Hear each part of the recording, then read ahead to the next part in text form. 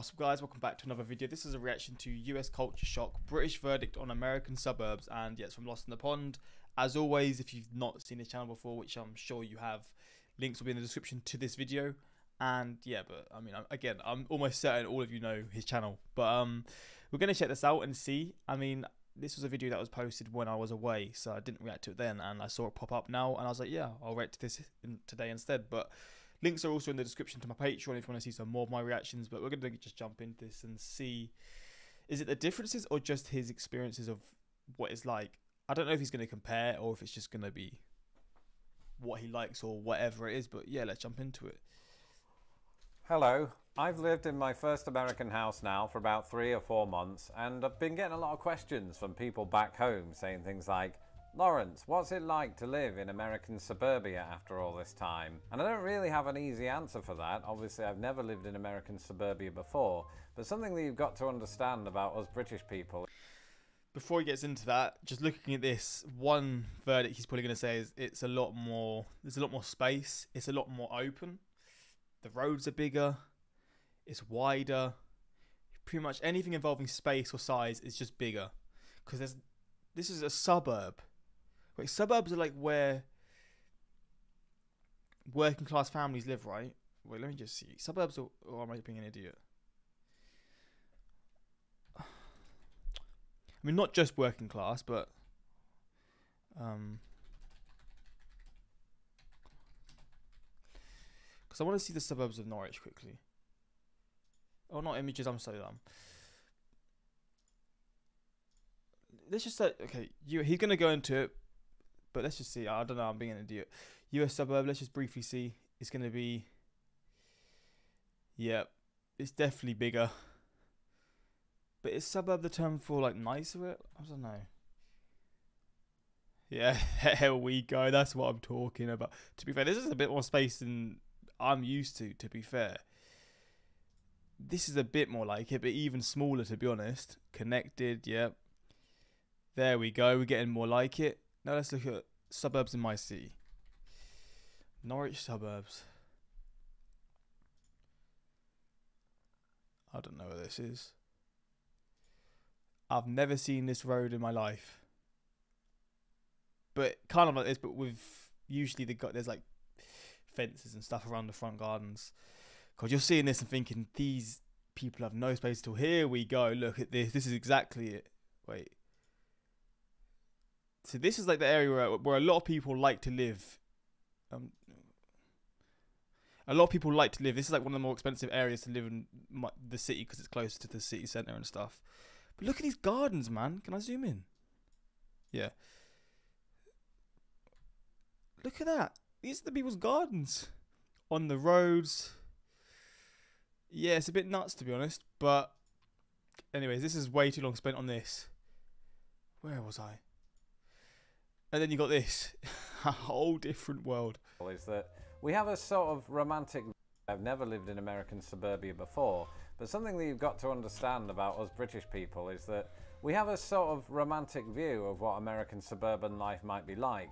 And that's partly due to how we've received the information through films such as those of John Hughes or Suburban Commando with Hulk Hogan. And we usually come away from it thinking, alright, so American suburbia is this place that is not to be trusted whatsoever, at the same time being a place that Americans most want to live. And so now that improbably I find myself living in American suburban land, it's time to answer, what is it actually like living there?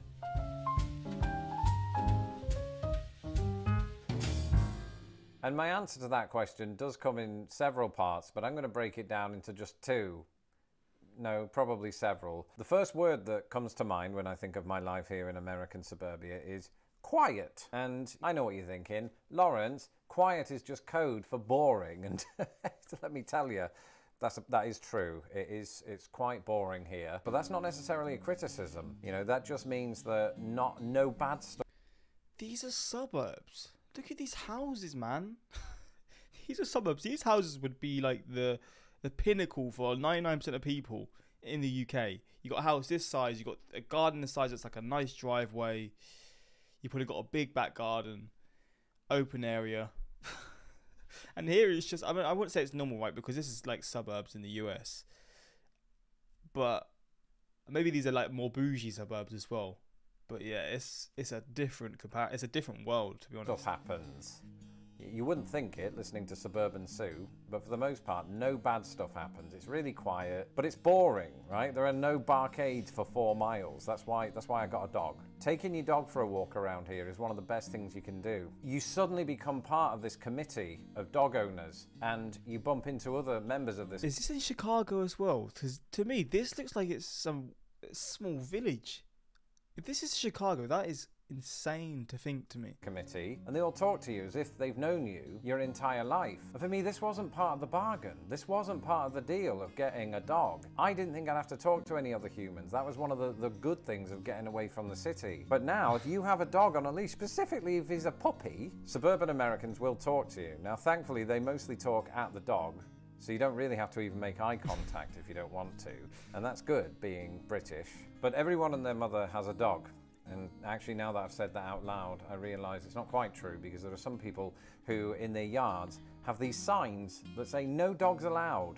Who are you to say that dogs aren't allowed? Right? This land that you've been paying a mortgage on and you think you own, you don't own it anymore. My dog owns it. Look, he did a little poo in your garden. What are you going to do? Oh, you're coming at me with a rake. All right. But speaking of yard signs, Americans are big fans of those, aren't they? E- even in the off season, right? Even when there's no politics happening whatsoever, which is never, when there's no election, people will have yard signs about all kinds of things. I passed one the other day that said something like, Drive like your kids are playing in the street. And they obviously weren't familiar with my game because I don't have kids and I don't drive. So it just prompted me to want to ride around on my bicycle with reckless abandon. Might try it, actually, and see what people do. But for all of its boring niceties, it's, it's a good place to live, this, you know. Quiet can be good. Quiet can be, especially if you're making YouTube videos, which I commonly am. The only noises you hear around here are that of cardinals and hoses and lawnmowers. But the other word that pops into my head, more so here than I think anywhere else I've lived in the United States, is the word rectangle. And that's because everybody lives in their own little rectangle here, don't they? Mm-hmm. It's not just the house in which they live, their garden is rect. Oh, it's like recta- Oh, oh, it's quite long then. These gardens look big. Would this just be for like your like average income family, or would this be for people that are like, a bit more well off than the average American? Surely you've got to be a bit more well off than the average American because these do look pretty big, and the space you've got is a different level, man. What the hell? Yeah, I'm guessing this is not just the average income. I'm just this. I'm certain it wouldn't be. Because these do like they look like where you would get you'd get probably houses like this here, but if you earn good money, like good money. rectangular, although admittedly that's usually the same in Britain. But their streets are rectangular. Where I live in the Chicago suburbs, it's just one giant collection of rectangles. In fact, you might even say it's a babushka doll of rectangles. Because while Cook County isn't itself rectangular, it is surrounded by counties that are. And I imagine that within those counties you have rectangular streets, and within those streets you have rectangular gardens containing American flags, which by their very nature are rectangular and also include 14 rectangles plus some stars. It doesn't really matter how you slice it. Here in American suburbia, there's always four sides to every argument. One impression that those films and American stereotypes in general used to give me is that all of these houses in American suburbia come equipped with a white picket fence. And I have to say, just walking up and down my street, I haven't seen a single white picket fence. Mind you, that's probably because the squirrels ate them all. Instead, if you have a fence, it's usually one of those chain link fences that makes you feel like you're in some sort of animal prison or a Hell in a Cell match, which suddenly starts to undercut this rosy feeling that we're supposed to have about American suburbia. Yeah, Yeah, to be fair, if you got a fence like that, you're probably just gonna swap it out, wouldn't you? And you get all kind of knocks at the door, don't you? It's like, oh look, here's one of the neighbours with a massive welcoming cake, and I can't remember her name because she has a massive welcoming cake, and that's all I'm thinking about. I've just remembered I told her to watch my channel. So if you're watching, cake woman, thank you for the cake. What's your name? But more egregiously, you'll get those people come to your door saying, I'm not actually them, but I represent AT&T and would love to do you a deal on, I don't know, solar paneling. I don't know why AT&T does that. They do in my head because everything just becomes one jumbled mess of offers that come to your postbox or just verbally to your face. And I can't stand it anymore because it happens all the time. I'm sure other homeowners are quite familiar with getting letters through your letterbox that say, Oh, big urgent news about your mortgage, and you open it up, and it's this offer to refinance your house right here, right now. And if you don't do it now, you will spontaneously combust. And sadly, To be fair, you get that here as well. You always get letters like, "Do you want us to value your house?" Even though I don't even own my place, I live in an apartment, and they're like, "Do you want us to value?" Bro, I don't own this, so I don't fucking care. like, get them every flipping, probably every two weeks. It's so annoying. a lot of that literature isn't recyclable, so it just goes straight in the trash. And the same is true of all of the mortgage related emails and text messages and friend requests.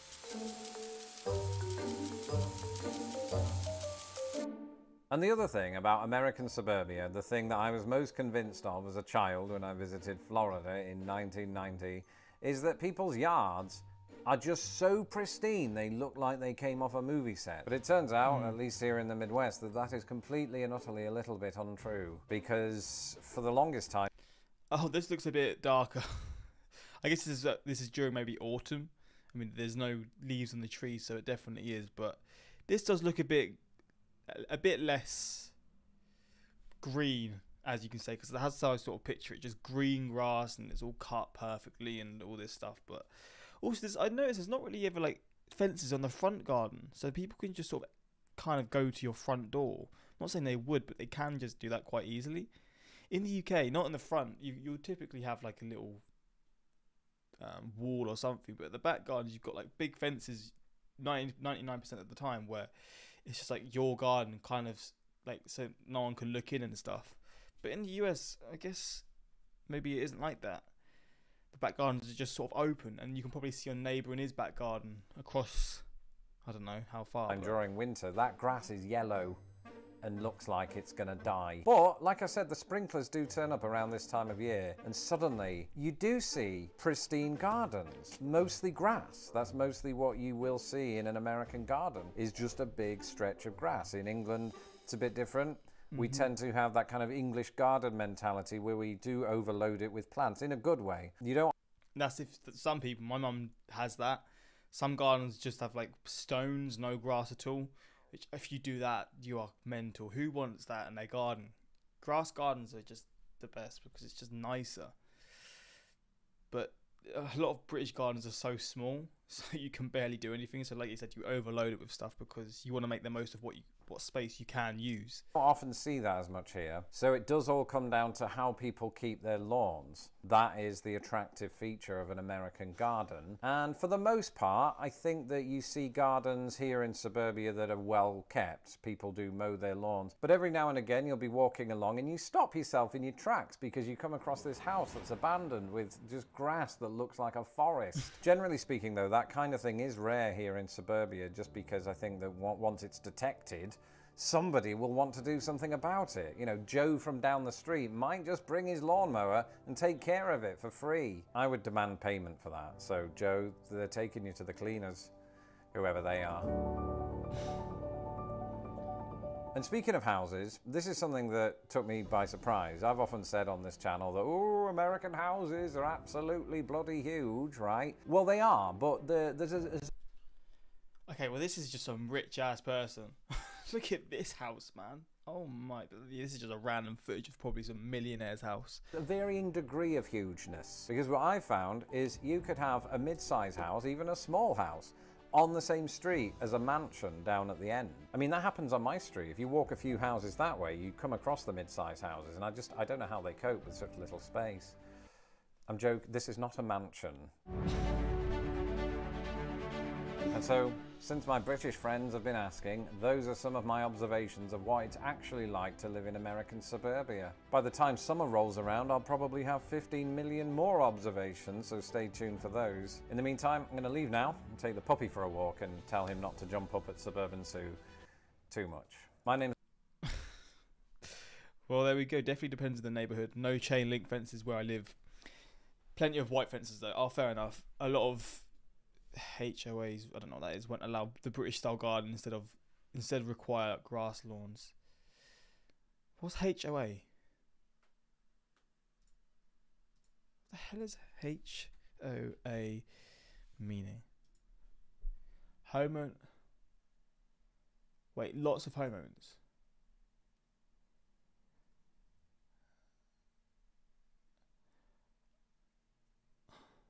What does that mean? I don't really know what that means, to be honest. I don't even know what a common hold is.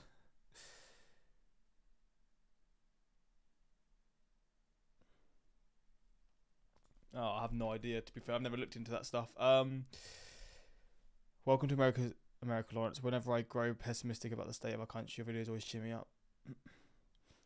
You're in pre World War II American suburbia. It's different, a lot more charming than post.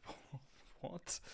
Um, yeah, hopefully you enjoyed this reaction, and yeah, I, obviously you make assumptions on certain things like oh they're all big homes and big gardens, but obviously that's not the case, and some are nicer than others. That's just how it is. But yeah, this is a interesting reaction, and yeah, if you want more of this stuff, let me know in the comments. And yeah, until next time, like subscribe. Peace.